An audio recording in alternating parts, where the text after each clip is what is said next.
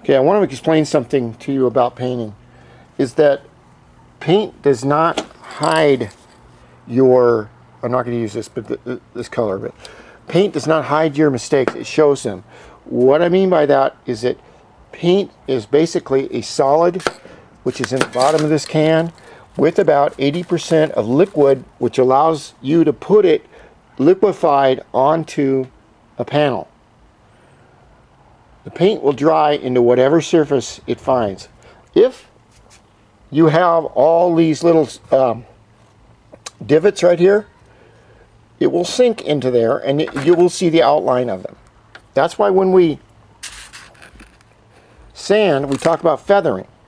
Feathering is like, I would say like right here, where we have the edge of the paint right here, we have the old panel here, and you can't feel it.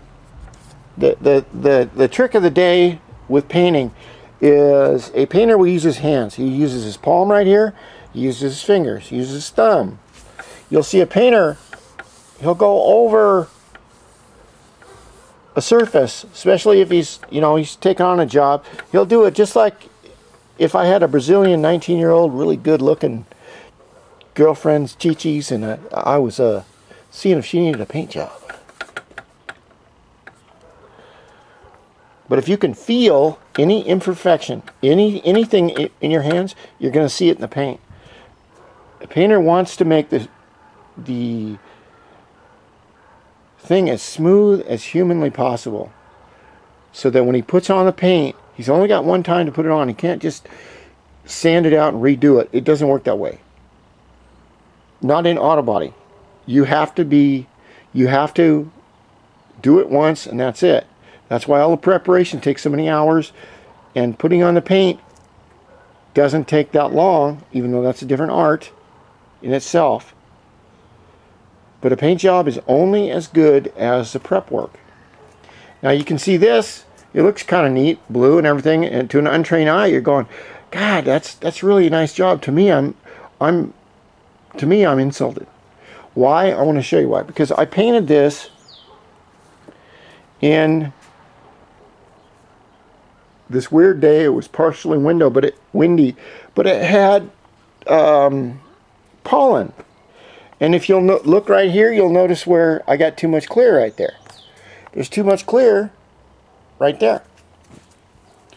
There's also too much clear right here. And, where is it? There's little tiny pieces of uh, blue fleck in there. Now to me that's that's bad. Because when I go out on the street, my paint work, I want it to be flawless, 100%. I want somebody to come up, look at this and say, Dan, you did a nice job. You know what? And when someone says that, it's worth all the effort in the world. The deal is that any of you out there, any of you young guys, and I would say young guys, because it's mainly guys that are working on these. I don't know, maybe girls work on them, and I, am not all around the world, so I don't know. But you, you always, you know, guys will will build these bikes and do it in the winter and do it whenever. They want someone to come up and compliment them and say, "Hey, that's that's a that's a great job. That's a reflection of the owner." And I will go up on the street and I will see some of these 19 year old guys with their cars. I don't know what kind of car it is, but they put the right wheels on it, the right accents. It doesn't look, there, there are guys that make these cars look low, clean, and dangerous, and there are other guys that go full Filipino. Now, when I say Filipino on their rigs, I don't mean that as an insult. What I mean is that Filipino, the pictures I've seen of their buses and their cars, there is nobody that outblings, outpimps the Filipinos. Nobody. Nobody on this earth. They have the most loudest bling cars. 100 miles away, I can see a glint in the sky, and I know it's a Filipino bus with with um, bling all over it. Some guys put too much of that on, on in in America. They try too hard. That's I guess what I'm trying to say. Others, they may do good on the paintwork, but they let the plastic go. Or they may do good on the paintwork and the plastic and they let the wheels go.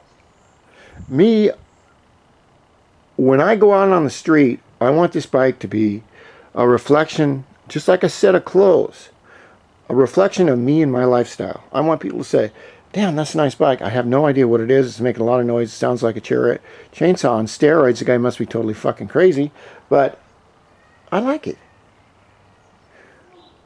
So I hope I haven't gone on too long, but like I say, this is a just a basic re reflection of uh, a moment in my life. That cat just wants to get in that shed and piss on something.